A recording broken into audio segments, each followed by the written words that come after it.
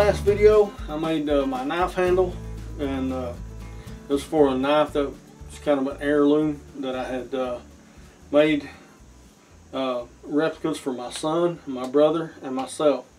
So we all got the same knives, and I made it from my micarta that I had made from some of my dad's old shirts. So uh, I had people that wanted to see how I made the micarta, so I figured I would do a quick video on how to do that. And uh, I had a pair of blue jeans over here that I've been planning on using just for that purpose. So I went ahead and made some micarta with, uh, with those blue jeans and this is how I did it. So it's a pretty simple process. Just got to be quick. Let's get started. And uh, the materials that I need is first of all I need some type of press to press it in and I've got this here. And the way I built this just a, a piece of plywood with four uh, actually it's all thread. I believe it's 3 8 inch coming through on each corner. And I made these are spacers so that I don't have to worry about uh, tightening down too much on one side and getting my micarta all out of whack. Uh, when I tighten all the bolts down onto these spacers, it's the correct height all the way. And I'm I'm going with 7 8 inch. So if I need to, I can run my my table saw right down the middle, and I uh, and I still end up with two 3 8 inch thick scales. So, uh, but anyway, uh, that's my press. There's the top to my press right there. You'll need your material that you're going to turn to my micarta. This was a, uh, pair of blue jeans pants that uh, that I had that I, I was actually planning on doing micarta with anyway, so I'm just going to go ahead and do it in this demonstration. So, uh, but you'll need a pan for your press to sit in if you don't like huge messes. You'll also need another pan or, or the way that I do it, I use another pan to put the, the epoxy uh, on the material. Now you can use lots of different kinds of material. Uh, you could use, I mean, as long as it'll soak up the, uh, the resin, you'll be good.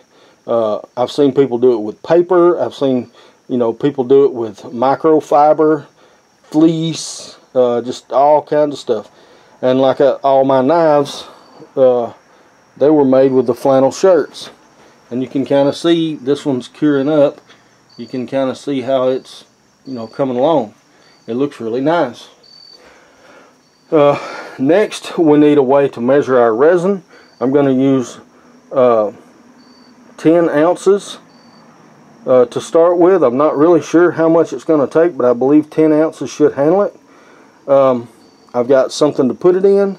I've got my resin here. This is uh, Composite Envisions uh, Silmar 41. I like it because it's uh, it, it's a polyester resin, but it's uh, but it's also crystal clear.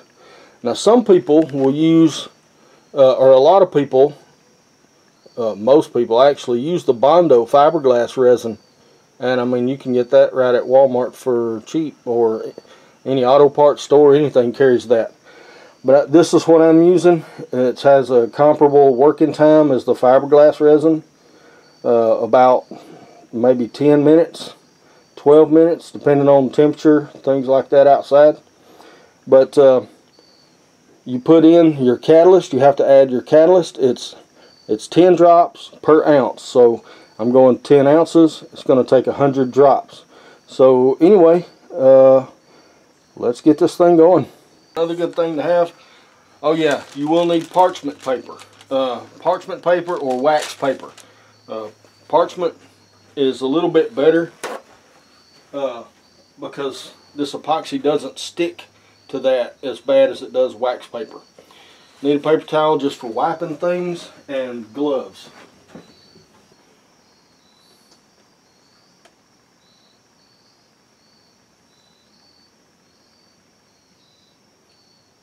7, 8, 9, 10. Alright, so I'm at 10 ounces. Now I don't have to be in a hurry yet because I've not mixed anything with it. So we're pretty good right now. You got to get yourself ready to do this. Now, I'm going to go ahead and put all of these pieces into my into my pan. Now, all right, I'm going to count these out. I'll stop the video, but I'm going to put a hundred drops in here. One, two. okay, this stuff is almost done. Okay. Now, it's thoroughly mixed. I'm going to pour some in here, first of all. I'll probably just pour it all, pour a bunch of it in here. This will help me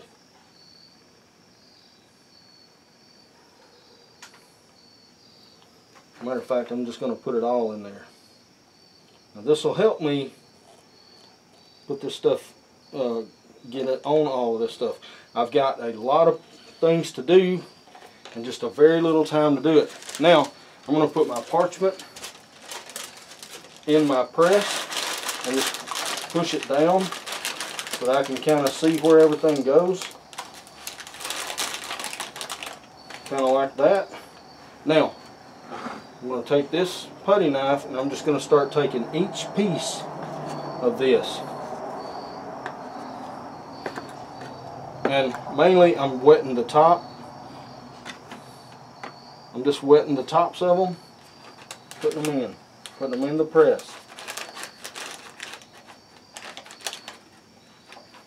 Okay, now, and as I do the tops, they'll stick to the bottoms of the others.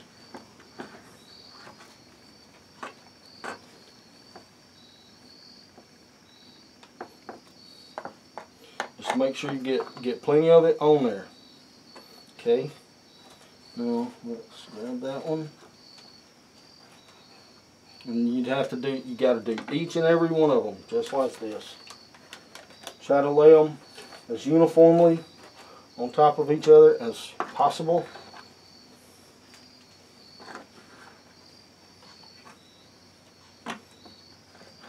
And when you mash these, all that epoxy will go it will all mix in together. Acorns.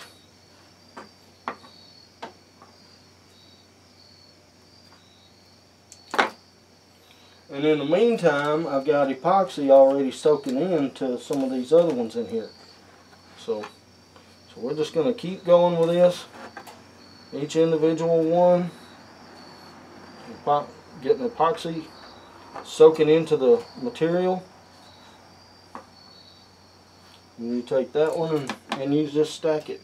Now, that this one's got little strings on it. Don't let the strings get in between them. I'll leave that sitting right there. Put this right here. Alright, let me get these gloves off.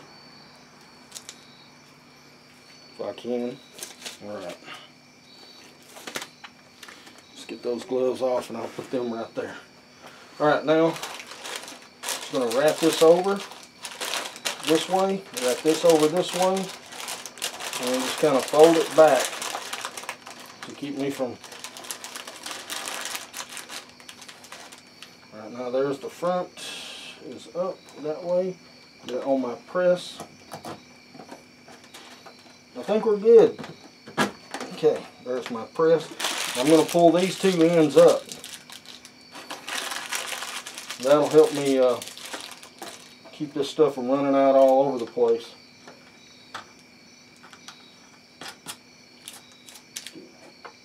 Get the bolts on, or the nuts on.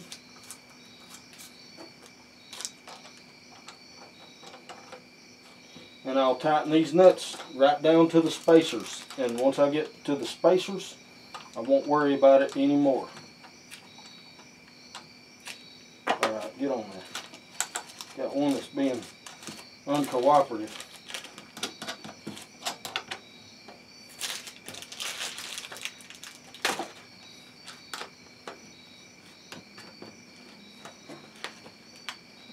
Mash it down, twist it.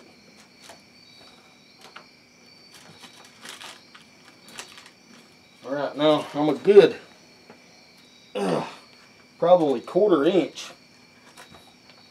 And I've, I've got these things already tightened down, finger tight. So now I'm going to take my wrench and just finish tightening everything down, right down to the spacers.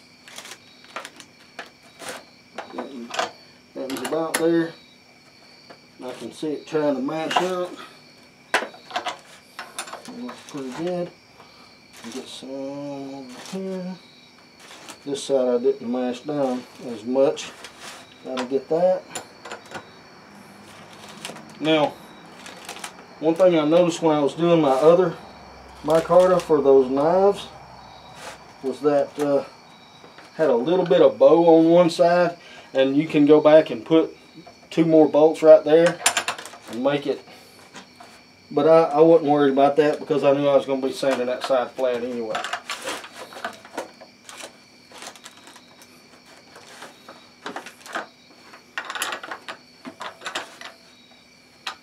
Alrighty. Now, we're sitting on my on the spacers all the way around and, and all we have to do now is let this cure up.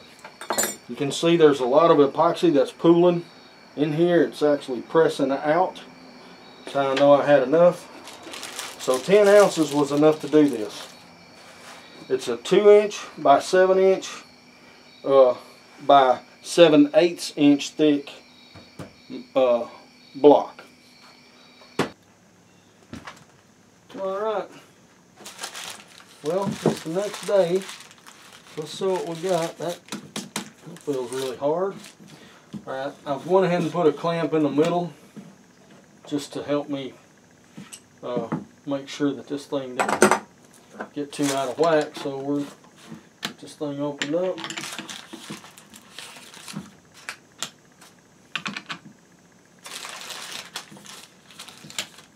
Let's see what we got.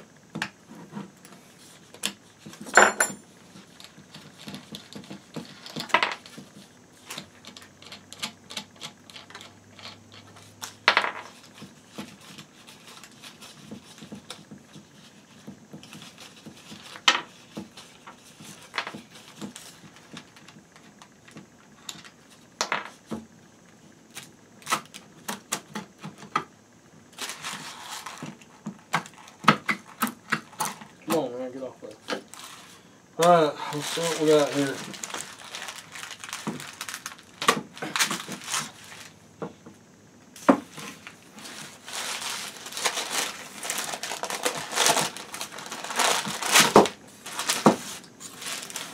Aha! Look at that.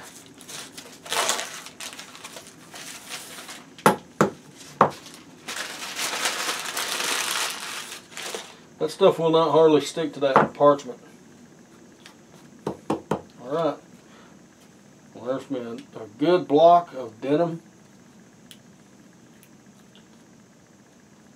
Denim micarta. My new piece that I've made and I'm I'm about ready to uh, try to get me a little flat edge right here so I can run it through my saw and get this stuff uh, basically cut down. I'm just going to try to get a flat edge that I can run against my uh,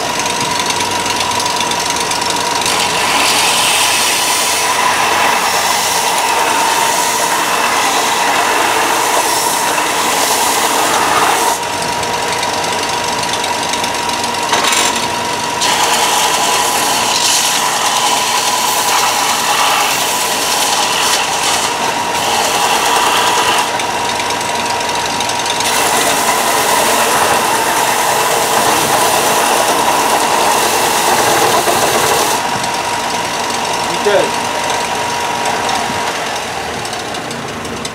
Right now, I've got me a flat edge here. I should be able to run that right through my through my bandsaw.